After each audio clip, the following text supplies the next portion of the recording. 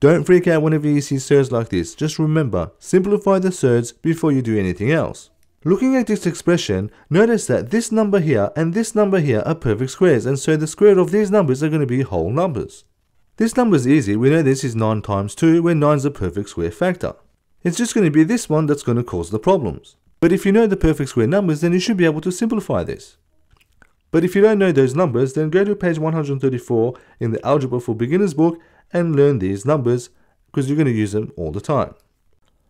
And so coming back to this, the square root of 49 we know is equal to 7, and so this is going to be 3 times 7. Then we've got plus 2 times, we're going to simplify the square root and write it as the square root of 144 times 2, because the biggest square factor that goes into 288 is 144.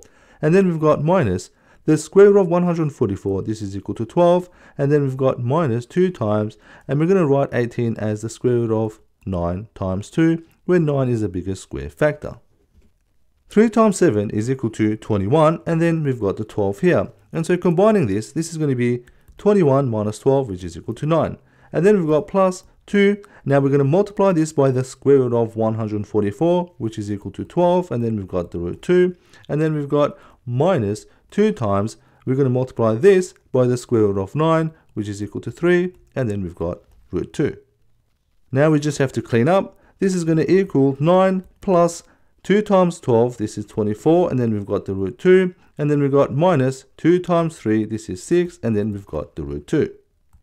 From here, we've got the root 2 and the root 2 that are matching, and so we can subtract these surds, and so we're going to leave the 9 as it is, so we've got 9, and then we've got 24 minus 6, which is 18, and so this is going to be plus 18 times root 2.